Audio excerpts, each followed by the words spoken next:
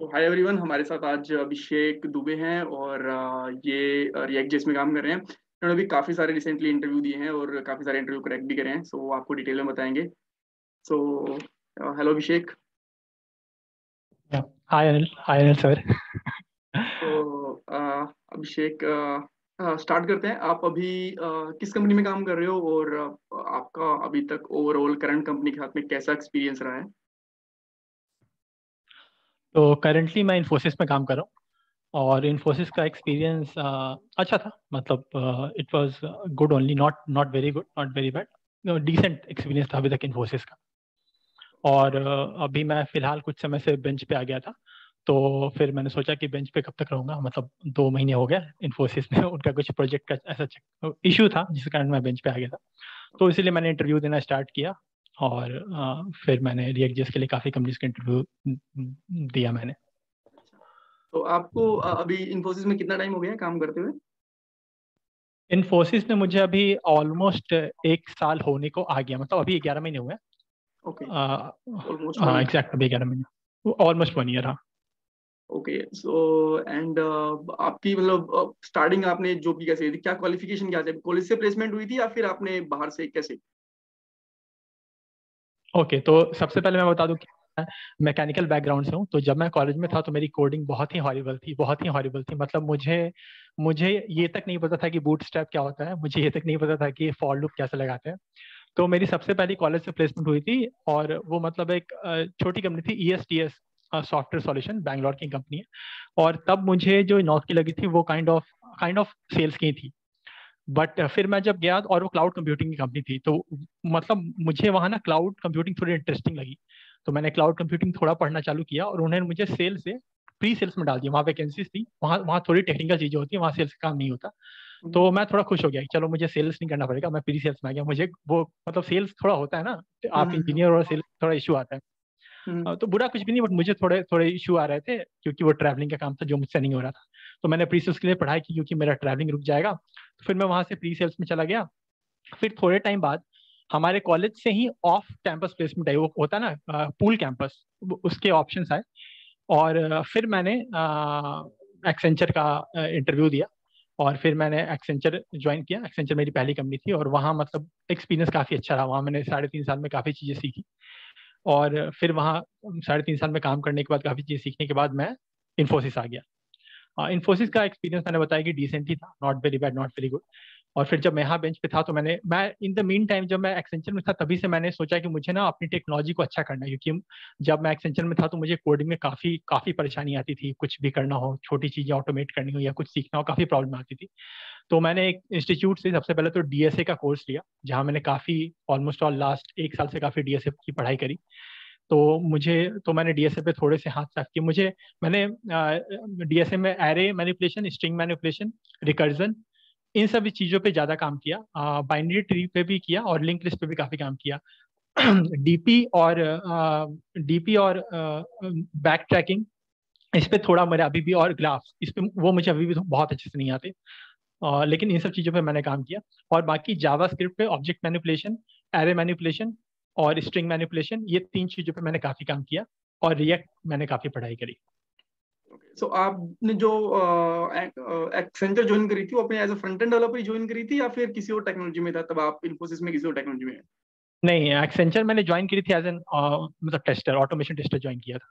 तो okay. वहाँ से मैंने इंटरेस्ट दिखाया कि मुझे स्विच करना है मुझे चेंज करना है।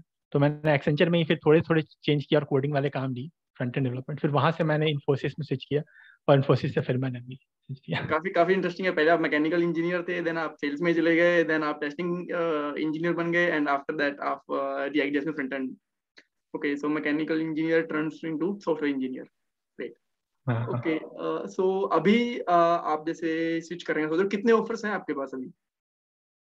अभी मेरे पास टोटल छह ऑफ़र तो तो अभी मेरे पास मेनली मतलब टीसीएस से मतलब चार मेरे पास सर्विस बेस्ड कंपनी का ऑफ़र है TCS Nagarro Accolite Accolite is half service half product based और सी टी टेक दो प्रोडक्ट बेस्ड कंपनी का ऑफ़र है, एक है डेसॉल्ट सिस्टम और दूसरा है Royal Bank of Scotland NatWest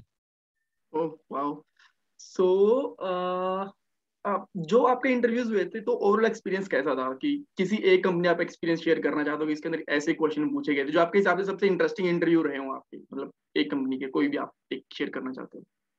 हाँ मतलब मैं दो कंपनीज़ के बताऊँगा जो मुझे बहुत अच्छे लगे इंटरव्यू एक्सपीरियंस एक तो मुझे सर्विस बेस में सबसे अच्छा और मुझे थोड़ा टफ इंटरव्यू नगारों का लगा। उनका एक क्वेश्चन होता है वो कंप्लीट कोडिंग राउंड होता है। आपको दो क्वेश्चंस को देते हैं उसमें से आपको एक सॉल्व करना होता है। एक मुझे लीड कोड इजी के लेवल का रहता है और एक लीड कोड शायद मीडियम रहता है। तो मुझसे दो में एक ही हो पाया तो उनका एक में सिलेक्शन होता है। तो वो क्वेश्चन काफ़ी मतलब मुझे तो थोड़ा सा टफ लगा। उसमें एक क्वेश्चन ऐसा था कि मैं एग्जैक्ट क्वेश्चन नहीं बता रहा बस ये बता रहा है कि एक स्ट्रिंग था।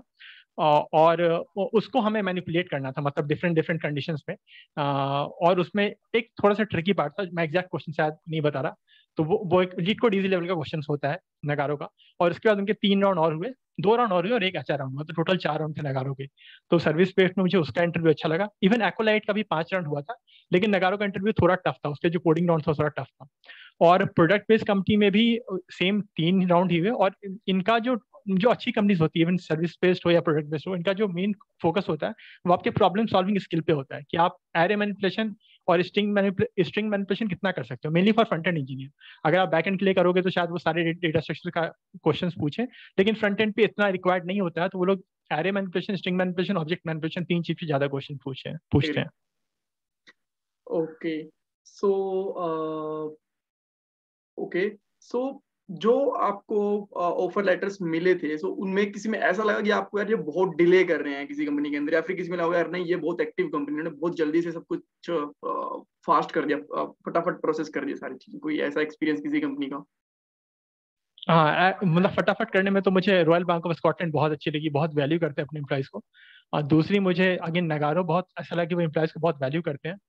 और जिन्होंने नहीं दिया उनका मैं नाम नहीं दूँगा। जिन्होंने अच्छा किया, उनका मैं बता रहा हूँ आपको।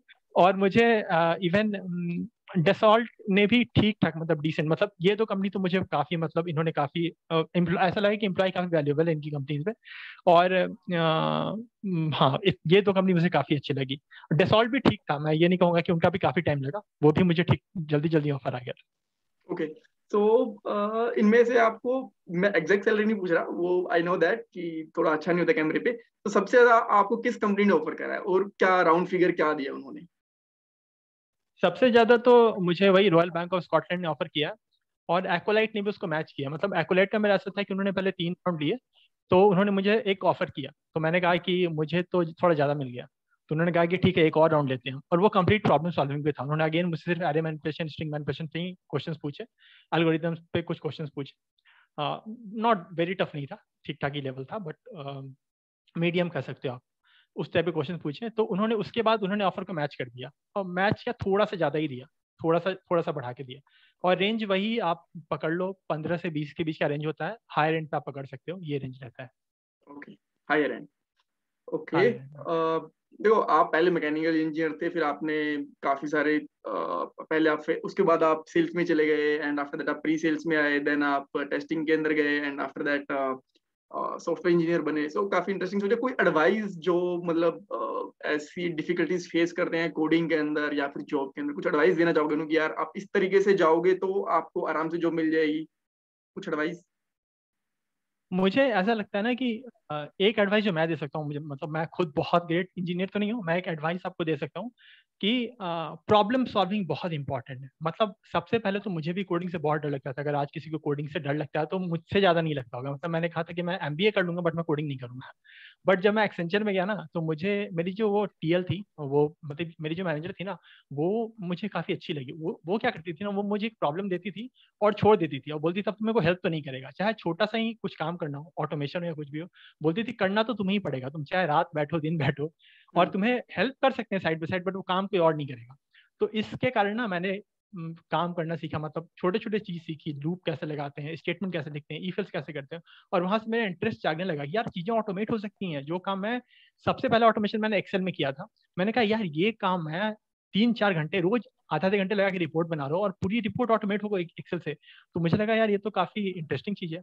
और फिर मतलब मेरे दिमाग में एक बार एक कुछ स्टार्टअप आइडिया था, मैं उसके लिए काम कर रहा था। तो मुझे ना वेबसाइट बनवानी थी और उसके लिए मैं इतना पागल हुआ तो मैंने कहा, मैं खुद से सीख के देखता हूँ कि क्या है वेब डेवलपमेंट तो मैंने पहले वर्ड प्रेस वेबसाइट बनाई। तो फिर मुझे बहुत इंटरेस्ट आया। मैंने कहा बहुत अच्छी है। फिर मैंने ना वेबसाइट फ्रीलांसिंग करनी चालू की वर्ड में तो उससे मुझे कुछ पैसे आ गए। तो इस तरह से मेरा इंटरेस्ट आ गया। तो मैं यही एडवाइस करूँगा कि आप ना चीज़ों को ट्राई करो। जब आप चीज़ों को ट्राई करते हो ना तो उसमें आपका इंटरेस्ट डेवलप होता है। और इंटरेस्ट डेवलप होता है ना तो बाकी हर चीज़ आप सीख ही लेते हो उसके लिए। और अगर प्रॉब्लम सॉल्विंग मैं किसी फ्रेशर को बोलूँगा तो मैं यही बोलूँगा कि तुम प्रॉब्लम सॉल्विंग के काम करो गीक्स फॉर गीक्स से प्रॉब्लम देखो एरे मैनिपुलेशन और स्ट्रिंग मैनिपुलेशन पे अच्छा काम करोगे ना ये दो चीज़ें तुम्हें बहुत हेल्प करेंगे। अगर तुम और रिकर्जन अगर तुम थोड़ा सा या ठीक ठाक रिकर्जन तुम कर लेते हो ना बहुत हेल्प करेंगे तीन चीज़ें मुझे लगता है। बाकी चीज़ें अगर हाँ। बहुत ज़्यादा यस नहीं भी कर सक, सक सकते हो तो। अगर आप फ्रंट एंड डेवलपर हो तो मेरे हिसाब से array and object is the most important thing for you think So thank you, Abhishek. Thank you so much, yaar. So let me yeah, stop recording first. Please stay there.